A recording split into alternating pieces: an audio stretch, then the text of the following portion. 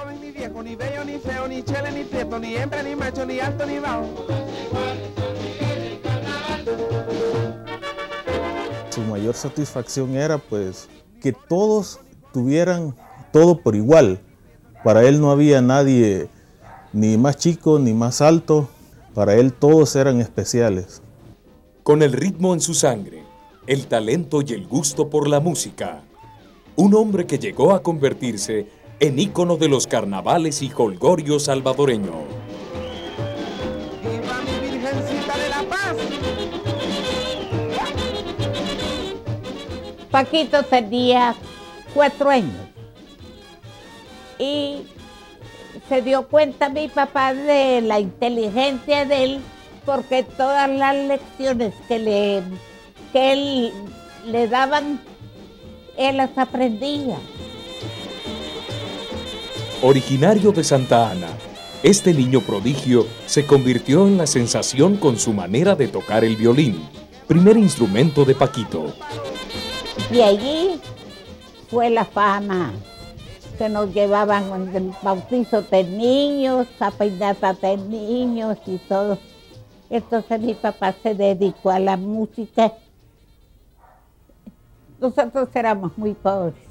Chiquito, pues niño, ya andaba en carpas, en cines, en, en teatros, en salones, en todo, el, por todos lados. Se vinieron a San Salvador, conquistaron San Salvador. Ve, lo tenían más que en la mano, porque el- el chiquito era un fenómeno para tocar violín. Así, la vida de este artista comenzó a dar frutos en la música. Y ya no solo fue el violín. Otros instrumentos se unieron al talento de este salvadoreño. Cuando él tenía como 13 años, le dijo que él quería tocar saxofón. Con sacrificio, porque éramos pobres. Y tocaba marimba, con una marimba que se llamaba la Sonora de los Polillos. Con esta sonora, viaja a Panamá, Venezuela y Cuba. Se encontró allá en, un viaje que estaba haciendo por, por Perú con una orquesta cubana, que él andaba tocando la trompeta, se encuentra con el maestro Ernesto Lecuona, aquel que le cantaba eh, a la música tropical. pues. Y el maestro al oírlo, Lecuona, contrata a Paquito para una gira eh, más abajo, Argentina, Chile, Brasil.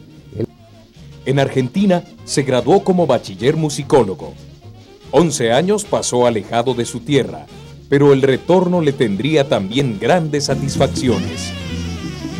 La orquesta Dixie Pals fue la casa del jazz en nuestro país y Paquito se continuó consolidando como un gran intérprete de música jazz.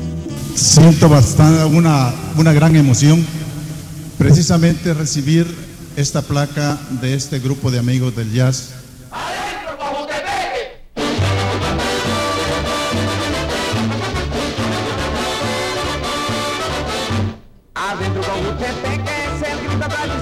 Luego de la Internacional Polío, Paquito integra el grupo de los Palavicini y después toma la dirección de la orquesta Alma Mater de la Universidad Nacional, de la que posteriormente saldrían algunos integrantes del grupo Bosa.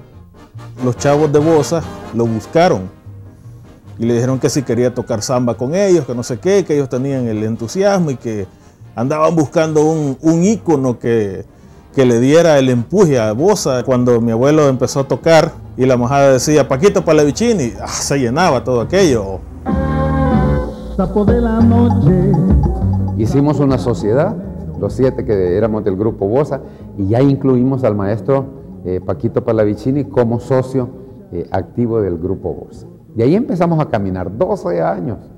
Entonces, hasta el 94 que dijo yo ya no quiero, o ya no, ya no, ya no me da el cuerpo para seguir, pero ya el hombre ya tenía ochenta y tantos años. pues. Muchos fueron sus éxitos personales y artísticos. La música de este personaje de gran trayectoria sonó y continúa sonando en los gustos salvadoreños. Le cantaba Zacatecoluca, Santiago de María, a Sonsonate, a su Santa Ana, eh, a San Miguel y así al paisaje, a la tierra y a la, a la gente del Salvador. Bailen los viejos, bailen los jóvenes y no pierdan el compás. Paquito Palavicini, un as musical.